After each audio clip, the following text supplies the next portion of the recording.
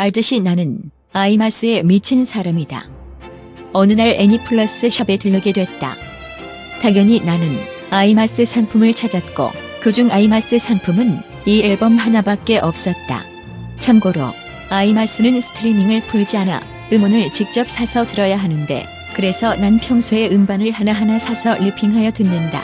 그러하여 마침 4주년 곡이 듣고 싶었던 참이라 사왔다. 기대를 잔뜩 하며 리핑하고 폰에 넣고 헬스장에 가서 기분 좋게 벤치에 눕고 음원을 트는 순간.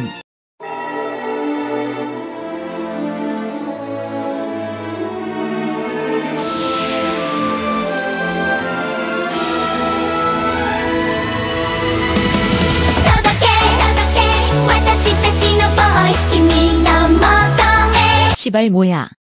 소리가 이상했다. 다른 트랙은 다 괜찮은데 제일 중요한 4주년 곡이 지랄이다. 리핑에 문제가 있었나 해서 집에 가 다시 뽑아봤는데도 지랄이다. 내 컴퓨터에 문제인가? 싶었는지 다른 CD 플레이어로도 해보았다. 결과는 같았고 내 CD만 그런 건지 아님 유통사에서 실수해 다 그런 건지 확인하기 위해 나랑 같은 상황의 사람들이 있나 찾아보았 나 밖에 없다. 이후 유튜브에서 다른 사람이 리핑한 음원을 하나 찾아 들어보았는데.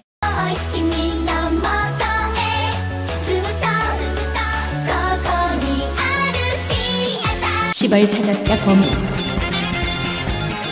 유통사에서 처음부터 잘못 찍어낸 거였고 그래도 대기업인이 눈치채고 공지를 했을 거라 판단.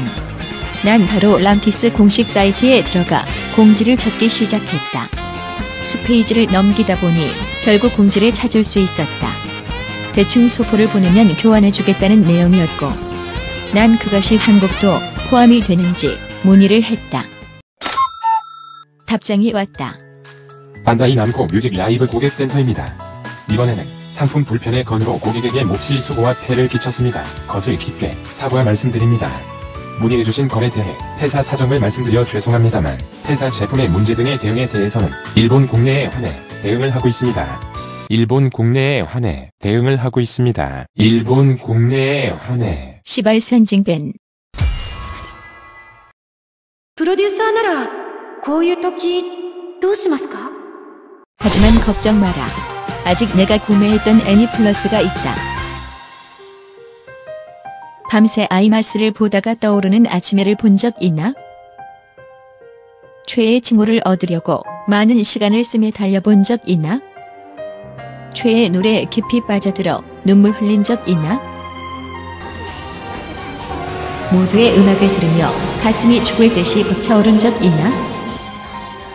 아이마스를 사랑하는 한 명의 프로듀서로서 이 정도로 포기할 수는 없는 것이다.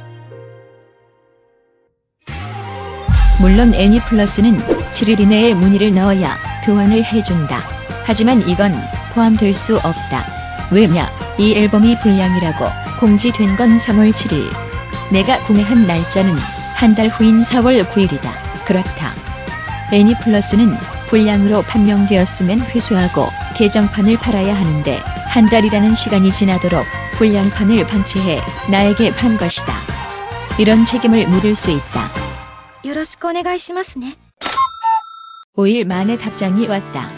내 말이 맞았는지 애니플러스 측에서는 당연히 교환 및 환불 처리를 해주겠다고 한다.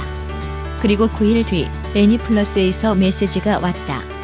소포를 보내면 교환해주겠다는 내용이었고 그날 바로 애니플러스에 소포를 보냈다. 난 승리한 것이고 이제 기다릴 일만 남았다.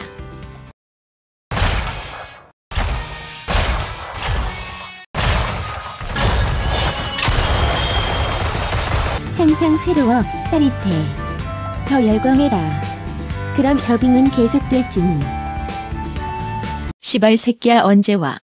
보낸 지 두 달째 아무런 소식도 없다. 그래서 추가적으로 문의했는데 다음 주에 보낼 수 있다고 한다. 그리고 한 달 뒤 집에 소포가 왔다. 뭔가 사주 사은품 같은 거 있으려나? 같은 눈에 망상을 하며 세 달 만에 받은 상자를 열었는데 아, 잘 오긴 했는데 뭔가 현타가 크게 왔다. 바로 리핑하여 들어보았는데 역시 정상적으로 나온다.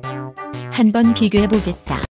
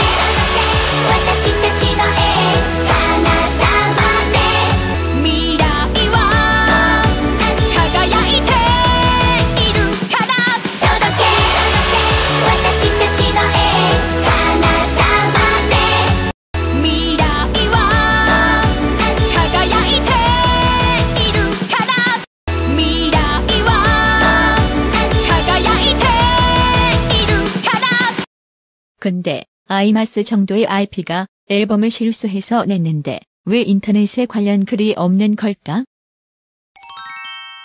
아하,